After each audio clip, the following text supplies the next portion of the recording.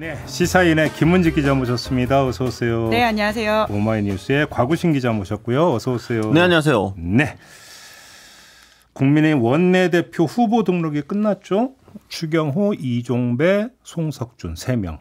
이철규 의원은 없네요. 그렇습니다. 근데 이철규 의원이 원래 출마 계획이 없었다고 페북에 썼다면서요. 네, 그런 페이스북 글을 남겼더라고요. 그 진실입니까? 그러니까 이제 그 마감된 직후에 이제 그런 글을 올리기는 했는데, 그러니까 이철규 네. 의원이 뭐 정말로 출마 생각이 있었는지 없었는지 그건 이제 뭐 마음을 들여다볼 수 없죠. 저희 관심법이 있는 게 아니니까요. 네. 그거는 사실 확인 불가능 영역이지만. 음. 이철규 의원의 본인이 생각이 어땠는지와는 무관하게 최소한 언론 플레이를 어느 정도 한 것만은 사실이다. 그러니까 음. 본인이 인정하는 것처럼 이제 기자들 연락사를 받지 않았다라고 이야기를 했고 음. 메시지도 좀 두루뭉실했잖아요. 이제 NCND 뭐 확인도 안 해주고 부인도 안 해주고 뭐 이런 식이었고 심지어 지난번 이제 의원총회 때 이제 이철규 의원 등장하니까 기자들 우르르 달라붙어 막 이것저것 물어봤는데 그때도 이 의원이 여러 이야기를 했는데 전반적인 뉘앙스는 불출마 쪽에 방점이 찍혀 있는 것 같지만 중간중간에 출마 쪽으로 해석할 수 있는 문장들도 심어놨단 말이죠. 그래서 근데 관련 기사 보니까 뭐 해석이 뭐 완전히 제각각이 그렇죠. 기자들마다 듣는 그래서 출마를 하겠다는 거 안 하겠다는 거야 막 정반대 기사들이 막 동시에 나왔잖아요.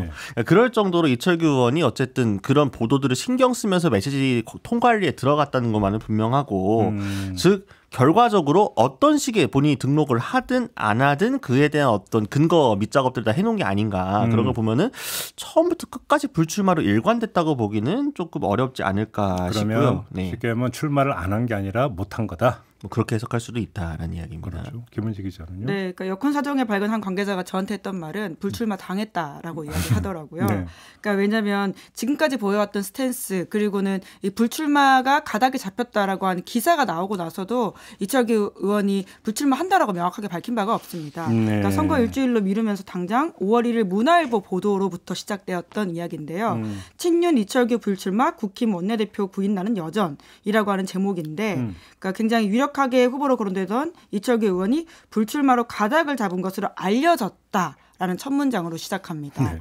그런데 정작 이 기사에는 이철규 의원의 정확한 입장이 나와 있지 않거든요. 음. 이제 그러다 보니까 이제 불출마 분위기를 잡으려고 하나 어떠한 분위기가 만든 기사 아니냐 이런 이야기를 하는 여의도발 해석들이 꽤 있었었고요. 심지어 다음 날까지도 이철규 의원이 나에게 불출마라고 이야기한 사람은 우리 집 아내 외에는 아무도 없다 네, 이렇게까지 말하기도 했었습니다. 네. 이제 그러다 보니까 상황을 계속해서 이제 좀 재가다가 결과적으로는 불출마 당한 게 아니냐라는 음. 해석들이 꽤 있는 것이죠. 음, 불출마 당해 했다. 그러니까 사실은 보통 기사에서 인용을 할 때 저희가 실명으로 코멘트를 박는 게 있고 그다음에 이제 익명의 관계자를 통해 박는 게 있고 따옴표를 쓰지 않고 녹여서 풀어내는 경우들이 있잖아요. 이제 녹이는 경우라고 할 수 있겠는데 이철규 의원이 불출마한 쪽으로 가닥을 잡았다면 도대체 누가 어떤 식으로 이야기를 해준 걸까 이제 이게 좀 궁금해지잖아요.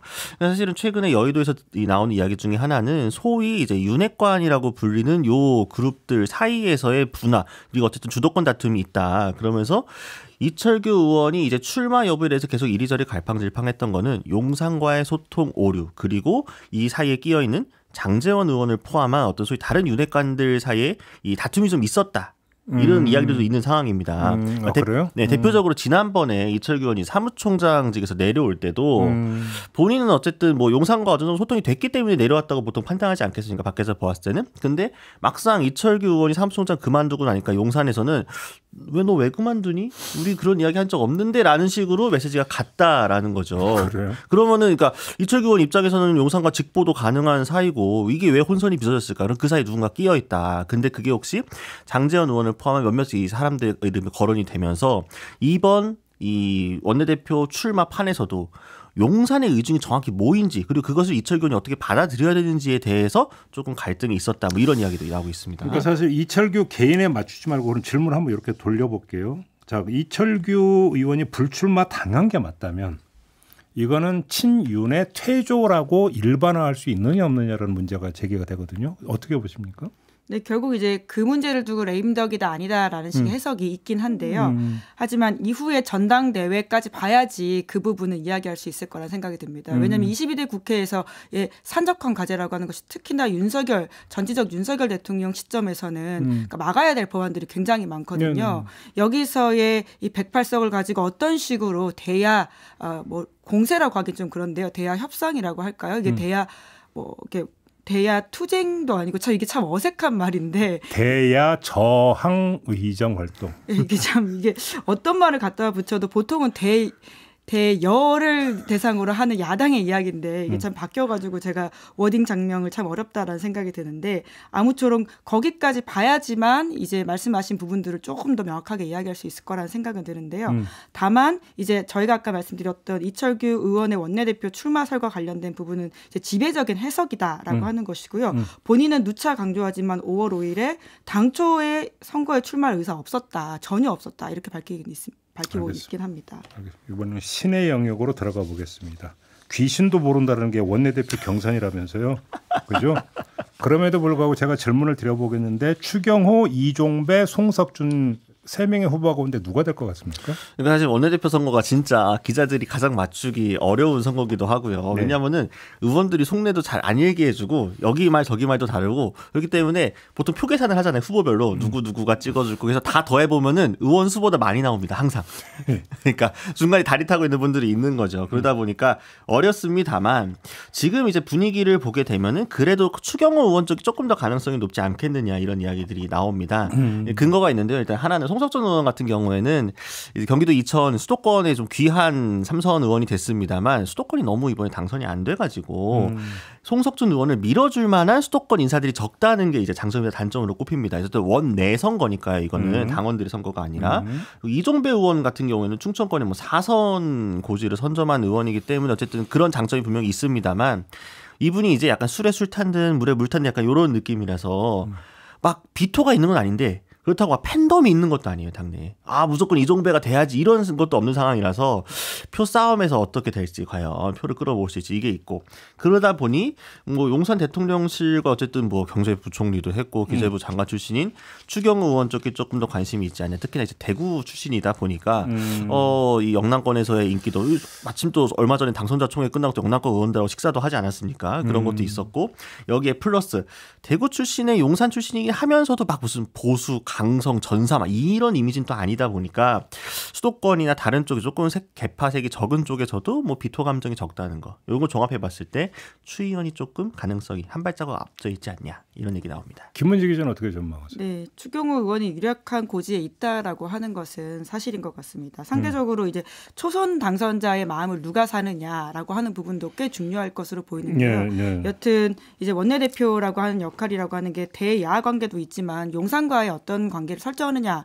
문제도 있지 않습니까? 이제 그러다 보니 용산 대통령과 함께 이제 근무해봤던 추경호 의원의 경력이라고 하는 것이 이제 야당 의원들한테도 아, 여당 의원들한테도 일정 부분 이제 영향을 미칠 것으로 보이긴 하는데요. 이제 말씀처럼 그런데 진짜 원내대표 선거는 이제 함부로 정말 예측할 수 없다 이런 생각이 들긴 합니다. 근데 추경호 의원이 원내대표가 되면 이분도 친윤이라고 봐야 되는 거 아닌가요? 아니, 당연히 그렇죠. 사실 세 명 다 친윤 후보라고 범친윤으로 꼽히는 분들입니다. 그러니까 초대 경제부총리를 지냈는데 윤 윤석열 정부에서 그럼 친윤이잖아요. 그렇죠. 친윤이죠. 누가 뭐라 해도 친윤이죠. 음. 그럼 아까 친윤의 퇴주라고 봐야 되느냐라는 질문은 성립이 안 되는 겁니까? 원내대표 선거만 놓고 봤을 때는 그렇게 보기 어렵고 음. 다만 이제 기준점을 이철규 의원 같은 이제 찐윤 중에 찐윤 윤핵관으로 놓고 보니까 이제 선홍색에 비하면은 이제 핑크나 주황색이 좀 옅은 보이는 그런 게 있겠죠. 그러다 보니까 이제 어, 예. 그 안에서 이제 그라데이션이 있으니까 그런 건데 음. 친윤이 아니다. 뭐 이제 윤석열 대통령 용산의 그립이 좀 줄어드는 거 아니야. 이런 얘기는 좀 섣부르고 음. 말 그대로 원내대표 선거 이후에 전당대회 때 민심 반영 비율이라든가 어떤 후보가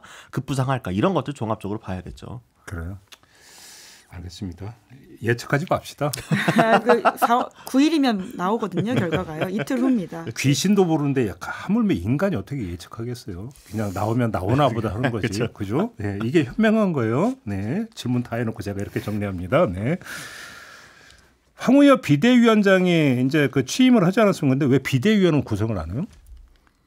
아, 하고 있을 예, 여기저기 섭외를 다니고 있는 중이라고 합니다. 그래요? 언제쯤 네. 비대위원이 구성이 완료가 되는 뭐 거예요? 가급적이면 빨리 하겠다라는 게 어쨌든 당의 입장이기는 한데요. 근데 음. 여기도 이제 약간의 구인난도 조금 있는 것 같고요. 음. 그리고 어쨌든 지금 비대위원 꾸려지게 되면 바로 저희가 또 카운터잖아요. 청년 몇 명, 여섯 명 명, 수도권 출신 몇 명, 뭐 비수도 영남권 몇 명 이런 걸 또 이제 해서 뭐 분배가 음. 어떻고 이런 일도 할 거기 때문에 음.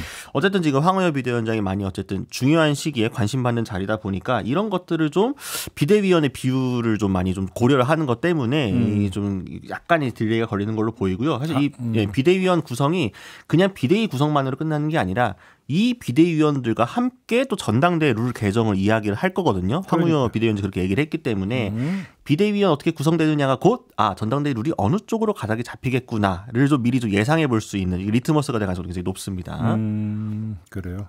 비대위 이제 구성을 보면 이제 특히 이제 그 당 밖에서 몇 명이나 이제 그 비대위로 이제 위촉을 하느냐 요것도 좀 봐야 될 것 같은데. 근데 결국은 황우여 비대위에서 이제 최대의 관심사는 전당대회 룰을 바꾸느냐 안 바꾸느냐 이 문제 아닙니까? 그러니까 현재는 당신 100% 반영되게 돼 있는데 여기서 어, 민심 반영비를 얼마로 늘릴 거냐 이 문제 아닙니까? 어떻게 전망을 하세요?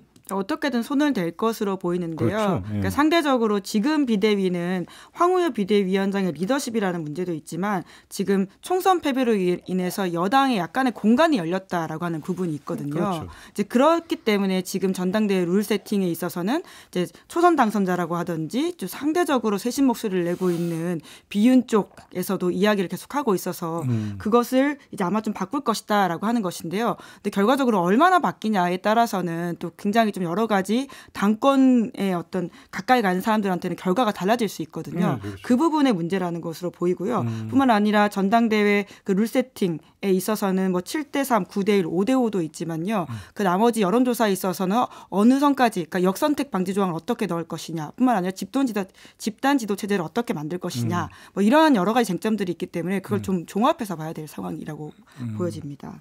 근데 사실은 얼마 전에 이제 하태경 의원 그 총선 경선 때도 이 여론조사 할 때 세대별 구성 간의 이 비율 맞춘 거 이 여부 때문에 또 약간 논란이 됐었잖아요. 그러니까 사실 여론조사를 반영을 한다고 하더라도 어떤 여론조사를 어떻게 반영할지 사실은 굉장히 이제 결과 영향을 미칠 수밖에 음. 없는 상황이기 때문에 그런 세부적인 룰 세팅까지 들어가게 될 거면은 좀 고민할 지점들이 많다. 그러다 음. 보니까 황우여 비대위원장도 그런 점을 좀 고려했기 때문에 오늘 이제 SBS 라디오 인터뷰에서 원래 이제 6말 8초 정도로 6말 7초로 예상되어 있었던 전당대회 시점이 물리적으로 불가능하다. 한 달 정도 좀 미뤄야겠다라고 하는 게 음. 결국에는 이것도 룰 세팅 이 논의를 해야 되기 때문에 또 여러 의견도 수렴해야 되다 보면은 음. 이 시간이 좀 더 걸릴 수밖에 없다. 네. 연결되는 걸로 봅니다. 네.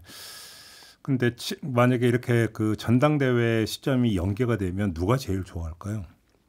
좀 이따 한번 여쭤보도록 하고 자그 네, 전당대회 네, 황우여 비대위원장이요.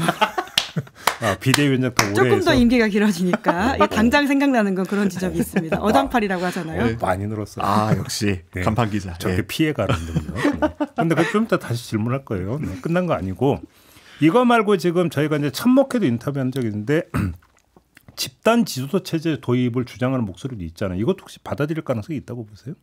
어 일반적인 경우라면 집단 지도 체제에 대한 뭐 사실 그 니즈가 항상 있는데 그러니까 그건 음. 마치 뭐냐면요. 저희 이제 개헌 얘기 나올 때마다 우리 대통령제를 계속 가야 될까? 내각제를 바꾸는 게 낫지 않을까라는 수준의 이야기인 거거든요. 그러니까 음.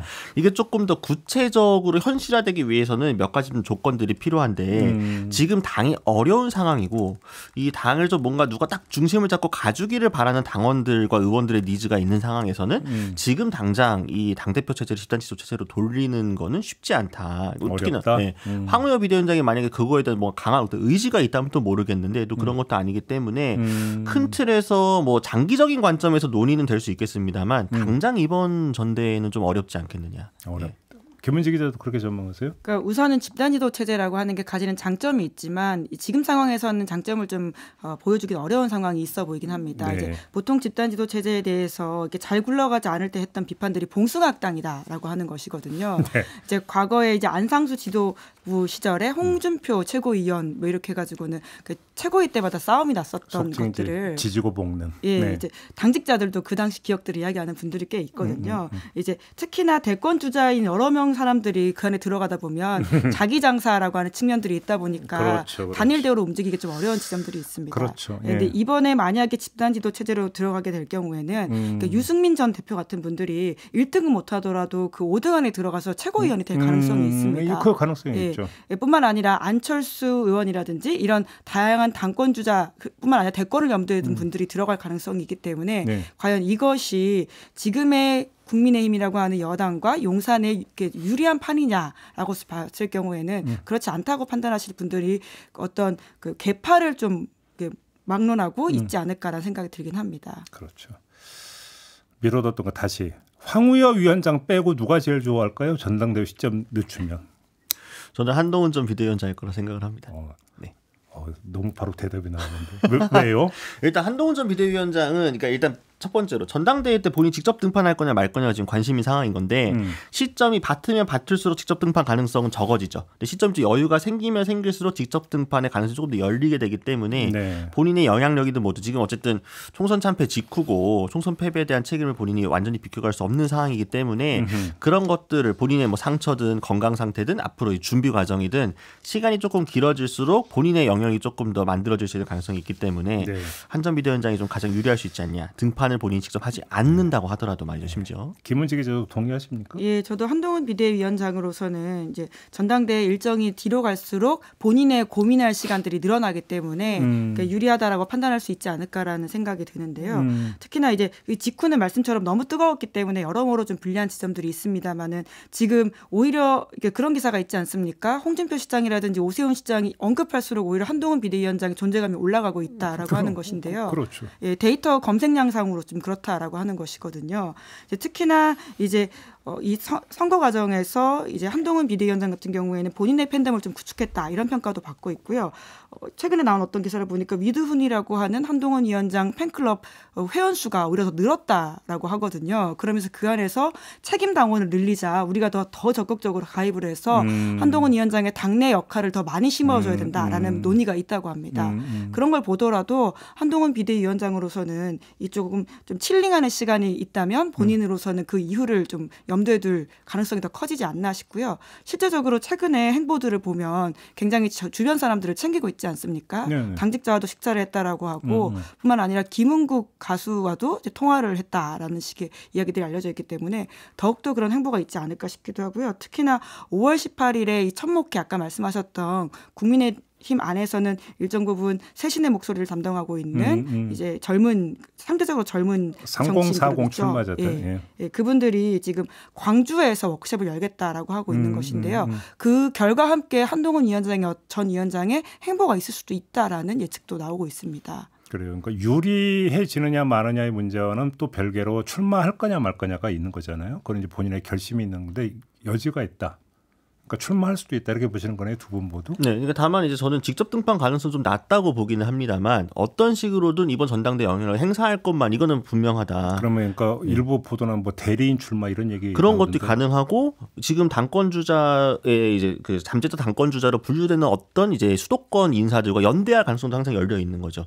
근데 한동훈 위원장이 지금 대리인을 당 대표에 출마시킬 만큼 저게 준비되어 있나요? 그 저도 그래서 한다면 본인이 하지 않을까라는 그러니까요. 생각이 들고요. 대리인이 누가 네. 당 대표 경선에 나설 대리인이 있을까요? 네. 음. 그 이제까지 해왔던 본인의 말에서도 좀 음. 해석해 볼 수 있는데 뭐 한 번도 이런 상황이 왔을 때 피해가지 않았다라는 취지 이야기를 하고 있거든요. 음. 그렇기 때문에 점점 더 그런 주변의 여론이 커질수록 본인의 등판 가능성이 커질 것으로 보이고요. 음. 실제로 주변에 조금 그런 이야기들을 묻고 그러니까 의견을 듣고 있는 것으로 알고 아, 있습니다. 예, 음. 이렇게 지금 본인이 나가야 되는 것인지 아닌 것인지에 대해서 예, 예. 의견을 계속 묻고 있는 것으로 알고 있고요. 음. 그것 것들이 종합돼서 판단할 것으로 보이는데 당장 지금 선거가 별 없거든요. 음. 그러다 보니까 정치인으로서는 계속해서 끝없이 존재감을 드러내야 된다라는 것 플러스 그리고는 여권의 권력 지형이 지금 우리가 생각하는 것처럼 꼭 굴러갈 수 있지 않다 않을 거라고 하는 여러 가지 조언도 듣고 있는 것으로 알고 있습니다. 음. 사실 이제 김은지 기자께서 아까 잘 얘기 언급해 주셨던 것처럼 지금 팬덤 부분이 사실 좀 중요하다고 보는데, 그러니까 한동훈 전 비대위원장이 이번에 원내에서 본인을 지지해 줄 만한 사람들이 많이 확보하지 못했기 때문에 방금 이야기한 대리 문제도 있고 합니다만 이번 총선 과정에서 한동훈 비대위원장이 얻은 거는 아 본인을 지지할 만한 강력한 팬덤을 구축하는 데 성공했다. 이 팬덤이 어떤 팬덤이냐면은 지금 국민의힘 예를 들면은 지난번에 잠깐 말씀드렸습니다만 예를 들면은 이제 국민의힘 TV에서 이제 실시간으로 여러 이제 행사들이라든가 회의 같은 거 생중계하잖아요. 거기서 실시간 댓글로 가장 많이 올라오는 댓글이 뭐냐? 한동훈 비대위원장 다시 데려와라. 음. 한동훈 비대위원장 전당대 출마해야 된다. 혹은 그분이 다시 돌아와서 당을 살려야 됩니다. 이런 이야기도 굉장히 많이 올라오고 있어요. 그리고 음. 이 팬덤의 성격이라는 거는 윤석열 대통령이나 김건희 여사의 팬덤과는 약간의 이제 거리감이 있다. 음. 즉 한동훈 비대위원장이 대등판을 어떤 식으로 하게 된다면은 그때 결과 각이라는 거는 이전 뭔가 윤석열 대통령의 황태자, 윤석열 정부의 어떤 그 이거를 그 후계로서의 느낌보다는 오히려 윤한 갈등에서 이어져 오는 조금 더 다른 각도의 어, 이전과 대통령과 좀 차별화를 할 수 있을 만한 식으로 그 모양새로 나올 가능성이 크거든요. 예. 그럴 만한 어떤 이제 밑작업들, 토양 다지기가 좀 들어간 상태다라고 볼 수 있을 것 같습니다. 그렇게 따지면 사실 여권 내에 아까 말씀하셨던 그러니까 뭐라고 할까요? 권력 재편 혹은 뭐 이제 레임덕이라고 하는 여러 가지 이슈들이 여당발로 아주 불거질 가능성이 크다라고 하는 지점에서도 관전 포인트가 그러니까. 있다라는 생각이 드는데요. 사실 국민의힘 전당대회에서 한동훈 위원장이 출마하게 되고 그리고는 국민의힘 이제 지금 뭐 어떻게 룰 세팅이 될지 모르겠 지만 국회의원들을 비롯한 조직과 일반 여론이 한동훈이라고 하는 사람을 선택하게 된다면 정말 이게 완전 다른 국면으로 넘어가게 되는 것이거든요. 그래서 이게 굉장히 볼 지점들이 많다라는 생각은 듭니다. 그러면 이제 이 질문은 소설의 영역에 들어가는 질문이긴 한데 창작의 영역이라고 합시다. 이원석 검찰총장의 명품백 수사 지시와 한동훈 출마설과는 상관관계가 있을까요, 없을까요? 이건 정말 뭐 어떻게 답해야 될지 어려운 사안이긴 한데요. 네. 그러니까 지금 나오는 이야기로는 그러니까 여튼 그러니까 스케줄대로 진행하고 있다 털어야 되기 때문에 하는 것이다라고 하는 일정 부분에 뭐라고 할까요? 방어성 혹은 해명성 이야기가 있긴 합니다만 뭐 조정훈 의원은 뭐 예. 임기 내 어떤 그 밀린 숙제 해결 차원에 네. 이렇게 얘기를 하죠. 예. 근데 포인트는 전 그거라고 봅니다. 특수부 검사 3 명을 투입했다. 네. 그러니까 그 논리라면 사실은 특수부 검사 3 명이건 형사부 검사 3 명이건 추가로 사람을 선임할 필요가 없거든요. 음. 있는 사건 안에서 법리적으로 어렵지 않은 이슈를 털면 됩니다. 음. 그런데 왜 특수부 형사 3명이 특수부 검사 3명이 추가됐냐라고 음. 하는 부분은 윤석열 대통령도 아주 쎄하게 느끼고 있는 포인트일 수 있다라고 음. 하는 것이죠. 음, 음, 그러니까 지금 검찰에서 이렇게 움직이는 거에 지금 정반대 해석이 존재하고 있잖아요. 그렇죠. 갈등설과 방탄설. 그렇죠. 네. 한쪽에서는 이거 김건희 여사에 대한 방탄용으로 뭔가 명분 만들어 주려고 이렇게 하는 거다. 이거 약속대로 인이라 민주당 논편도 나왔으니까. 근데 그 반대쪽에는 어? 이 사실은 그 검란을 이끌고 정권과 충돌했던 그 검찰 조직에 있었던 사람들이 윤석열 대통령과 한동훈 그 비대위원장 아니겠습니까? 지금의 검찰이라고 해서 그런 루트를 따라가지 말라는 법이 전혀 없거든요. 어차피 권력과의 관계가 수용하다 보니까. 그러니까 한동훈 위원장 같은 경우도 본인이 직접적으로 뭔가 지금의 검찰과 뭔가 컨택을 한다거나 뒤에서 작업을 한다 뭐 이렇게까지 보기 어렵습니다만 그럼에도 불구하고 일종의 공조 체제가 될 수도 있다. 사실 유난 갈등의 촉발점도 바로 그 김건희 여사 리스크와 관련해서 한동훈 위원장이 기자들 앞에서 언급한 순간부터 터진 거 아니었습니까? 네. 그 연장선상에서 이게 같이 맞물려 돌아가면 오히려 증폭되는 시너지가 나올 수도 있다. 그렇죠. 네. 여기까지만 하죠. 네. 소설 영역. 생각은 네. 자, 요것도 한번 여쭤보겠습니다. 내일 모레 윤석열 대통령 기자회견이 예고가 됐습니다. 혹시 언론사에도 이게 저기 이제 그 연락이 왔습니까? 한다고? 뭐 뒤늦게 이제 어쨌든 공식화가 됐기 때문에 네. 사실은 좀 사전에 좀 조율이 좀 덜 된 것 같기는 한데요. 어쨌든 음. 발표가 된 상황이니까 음. 이제 아마 틀이 좀 짜여질 것으로 보입니다. 그래서 이제 그 용산 출입 기자들이 어떻게 움직이는지 혹시 이런 얘기는 혹시 들으신 건 없고? 근데 보통 통상적으로 이런 경우에는 이제 이 순번 같은 것도 정해야 되고 음. 질문도 좀 최대한 안 겹치게 하기 위해 서로 조율도 하고 이제 이런 작업도 아니 바로 그 제가 여쭤보려는 네. 게 바로 그건데 어제 이제 발표에 따르면 대변인이 질문자를 지금까 지정을 할 거다라는 거잖아요. 그러면 그 지정 전에 출입 기자 등과 사전 상의가 있어서 지정을 할지 아니면 그냥 즉석에서 지정할지 이것도 상당히 중요한 문제잖아요. 그러니까 기자회견의 질을 담보는 데 있어서. 그죠? 그렇죠. 그, 래서 여쭤보는 거예요. 네, 지금까지는 항상 사전에 이제 준비를 해 왔습니다. 물론 이제 이번 정권만 사전에 작업을 한 거 아니고 이전 정권에서도 조율이 되었습니다만, 근데 음. 지금 대통령에서 얘기하는 거는 뭔가 형식도 파괴하고 뭐든 더 자유롭게 하겠다라는 이야기를 하고 있기 때문에 음. 그러면 진짜로 뭐 미국처럼 할 거냐, 뭐 오바마나 바이든 대통령이 했던 것처럼 이렇게 할 거냐 이런 부분도 있습니다만, 이 아마 이런 부분들은 기자들의 니즈가 먼저 정리가 될 겁니다. 간사들을 중심으로 기자들끼리 논의를 해서 우리는 이런 형태를 원한다가 나올 것이고, 그럼 그 음. 형태 형태에 대해서 또 대통령실하고 조율이 있겠죠. 그 형태를 받아들이지 말지에 대해서. 이틀밖에 안 남았는데. 음, 뭐 오. 빨리 해야겠죠. 이제. 그러니까 네. 통상 이제 아마 바로 직전에 윤석열 대통령 물론 1년 9개월 전이라고 합니다만은 그때 기자회견 같은 경우에는 네. 이제 대변인이 지명 지목을 했던 것이 이제 기자단에서 이제 뭐라고 할까요? 그 통신, 그다음에 인터넷, 그다음에 음. 일간지, 방송 이런 음. 몫으로서 간사에게 질문을 주지 않고 이제 그 안에서 나누지 않고 음. 이제 그것에 대한 과거에 이제 시민들의 비판들이 꽤 있었기 음. 때문에 자유롭게 하겠다라고 해가지고는 이제 대변인한테 질문권을 갔던 것 같. 것으로 알고 있고요. 음. 이번에도 아마 그런 식으로 하지 않을까라는 좀 예측이 있긴 한데 음. 과거에는 그러다 보니까 질문을 좀 미리 좀 조율한 게 아니냐 이런 식의 의심을 받긴 했었었거든요. 음. 이제 그래서 이제 앞으로는 더욱 더 그런 형식은 좀 취하지 않을 것으로 보이긴 합니다. 알겠습니다. 근데 왜 그 사전 연설과 질의응답을 나눌까요? 저는 이것도 좀 사실 좀 잘 봐야 되는 부분이라고 보는데 그럼 연설은 연설을 하고 브리핑룸으로 이동을 해서 하는 겁니까? 연설은 녹화를 한다는 겁니까? 뭡니까? 어, 지금 얘기 나온 거 이동을 해서 그냥 그, 그러니까 연설도 즉석에서 하고 그러니까 그 자리에서 이제 어쨌든 뭐 사전 녹화는 아니다. 사전 녹화 얘기는 제가 들은 게 아니고 이동해서 한다라고 그때 브리핑했던 그러면 굳이 그걸 또 그거를 집무실에서 그렇게 할 이유가 뭐가 있어요? 뭐 조금 더 이제 편하게 자유롭게 하기 위해서 장소를 이동한다라는 게 어쨌든 아니 뭐 낯선 것도 아니잖아요. 윤석열 대통령이 뭐 무슨 구상인지 진짜 저도 잘 모르겠어요. 아니 저는 약간 의아했던 게 아, 녹한다는 얘기인가? 저는 그렇게 생각했거든요. 그게 아니면 실시간으로 굳이 이렇게 장소를 나눌 이유가 뭐가 있어요? 뒤에 이게? 백이 더 다른가요? 그 한번 체크해 봐야 될 것 같습니다. 네. 그래요? 뭔가 좀 그림을 좀 고려했을 것 같기도 하고요. 말씀 주신 것처럼 음. 뭐 여러 가지 뭐 고려 사항이 있었기 때문인지 모르겠습니다만 그 자리에서 즉석에서 바로 이어지는 경우를 조금 부담스러워한 것 같기도 하고요. 네. 알겠습니다.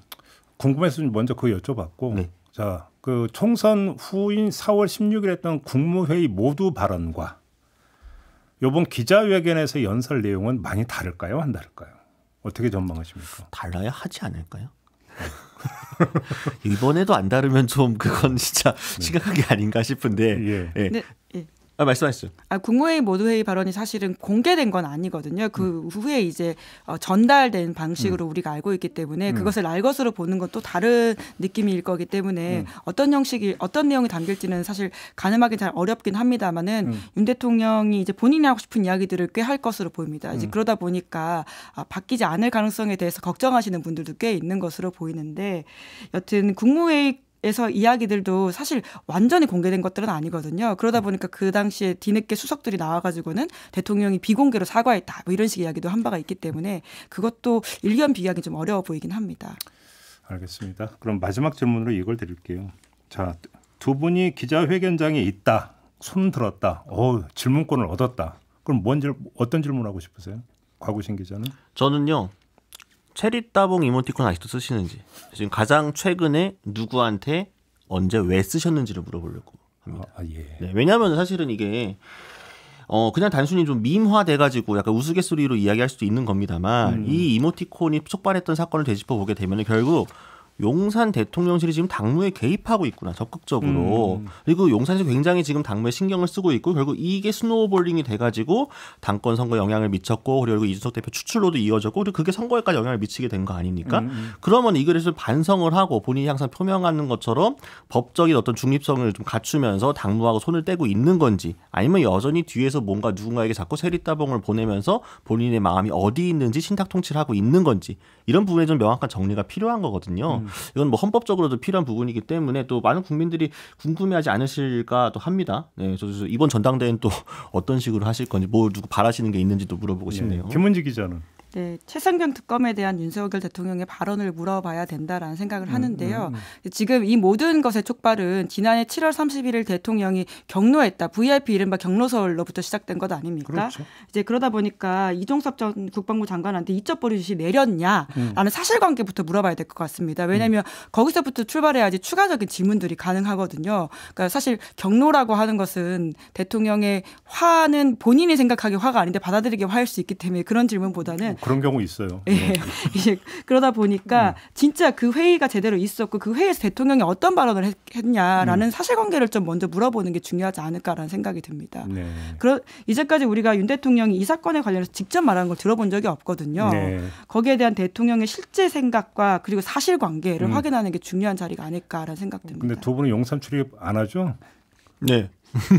근데 이 질문은 굉장히 저희 아주 베이스가 되는 질문이 아닐까라는 네. 생각이 드는데요. 근데 뭐그 소속된 자 다른 기자한테는 주문할 수 있는 거 아닙니까? 아, 그 저희 사실은 그런 거 보통 뭐 저희 회사는 그런 얘기도 하거든요. 네. 이제 만약에 이제 이번에 기자회견을 한다 그러면은 질문권을 이제 일단 얻기 위해서 중요한 거고 음. 질문권을 얻게 된다면 어떤 질문을 할지를 음. 기자 개인이 정하는 게 아니라 회사 차원에서도 간 논의를 좀 합니다. 우리는 네. 이런 이슈를 중요하게 가서 이거 질문을 꼭 하자 이런 음, 식으로. 음, 그러니까 이제 회사 네. 차원의 전략을 짜는 거죠. 그렇죠. 또 저희도 택을 짜죠. 근데 이번에 또 소품 등장 등장하나요? 기자가 저요 저요 하는 순간에 뭐 이렇게 소품 등장하나요?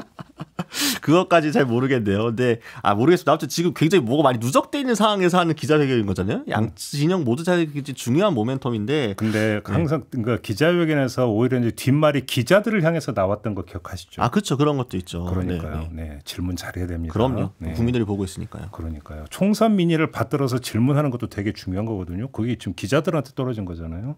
되게 중요할 거다. 이 말씀도 함께 드리도록 하겠습니다. 자, 이야기하다 보니까 뭐 시간이 훌쩍 지나서 이제 마무리 좀 해야 될 것 같습니다. 두 분 말씀 잘 들었고요. 음, 오늘 여야 어떤 이렇게 마무리하겠습니다. 저도 함께 올라갑니다. 고맙습니다 감사합니다. 감사합니다.